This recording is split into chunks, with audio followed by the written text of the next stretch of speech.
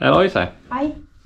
Så er det fredag aften, og klokken den er 10, snart Ja. 5 10, vi var ude at spise Ja, på street food, eller boldværket, inde i Ja. Randers.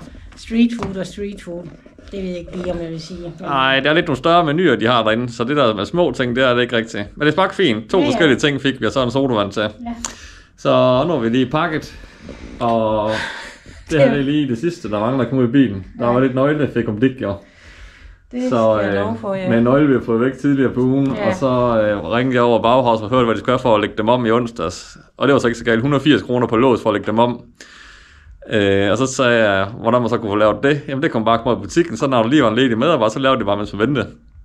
Så tog Ui. Karina, så tog Karina derover i torsdags, i går med det.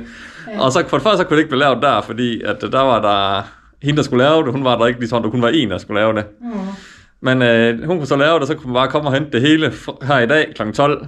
Troede vi. Og så havde Grine spurgt, om de ikke skulle have ens nummer, så de kunne ringe til hende. Jamen, det var ikke nødvendigt, fordi de havde mit nummer for det at ringe til supporten. Nå, det var fint nok. Så kører Grine derover kl. 12 i dag for at hente det.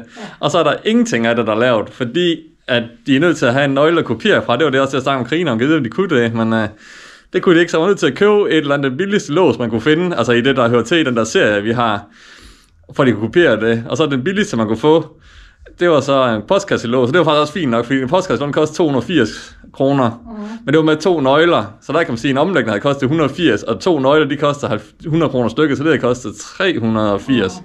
Det havde kostet 280, så okay, så skulle vi have den, og så ville hun ikke gå i gang med det før, end at vi har sagt ja til det. De kunne ikke få fat i os, fordi at de havde ikke mit nummer alligevel fra supporten af der, for da jeg ringte derind.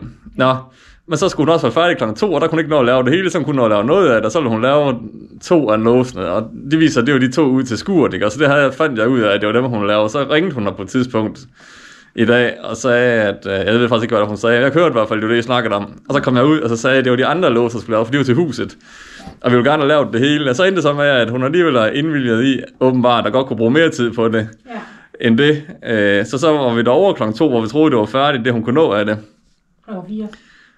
Nej, klokken 2 var vi derovre først. Nej, klokken 3.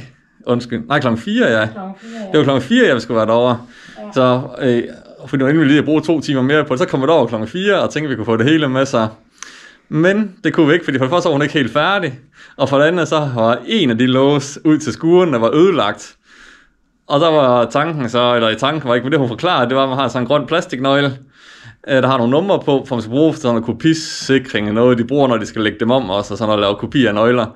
Og den havde et forkert nummer, sagde hun, og derfor der var den nøgle, hun har brugt til at lukke den op med, den sad fast ind i låsen, og så, kunne hun ikke, øh, så var den nødlagt, og det kunne hun først gøre noget ved på tirsdag, for det var Roku, der skulle ligesom betale den, fordi det var forkert nummer på den. Nå, så så kunne vi få lavet alt det andet, det ville hun så godt lave færdigt, alt det andet, undtagen den lås der. Og det er så sådan, det endte med. Så nu har jeg alle låsen i, undtagen en lås ud i skuret, så har jeg så taget det lille skur derude, og den har vi så ingen lås på. Der er så bare låst med en skruetræk, så har jeg sat en træstykke i og skruet den fast på nogle skruer. Ja. Øh, men det man så undrer sig over bag, så det er jo, altså de der to låse ud i skuret, de er jo ens. Og hvorfor kan hun lave den ene og ødelægge den anden?